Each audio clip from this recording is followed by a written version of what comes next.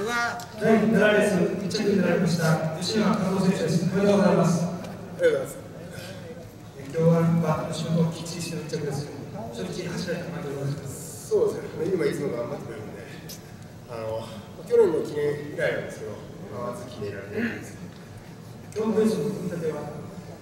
まあ今もう成功できますっていうことで、まあ、ちょっと抑えに行くタイミングがあの僕が思ってたのとちょっと違ったんですけど、まあ、そこは彼も余裕があるので、自信があったみたいなの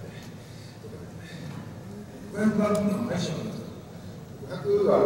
僕らもだったら長いしあの5000でもなんとかなるイメージもあるんですけど、うんまあ、最近ギアをかけて届かない場合もあるんですけど、まあ、ちょっとやり直しがいくら効くかなと思います。明日の準決勝ですけど意気込み一言お願いしますそうですね、点数もだいぶ落としてしまったんですけど、あの広島記念終わってまっすぐなんで、練習の上積みもあると思います。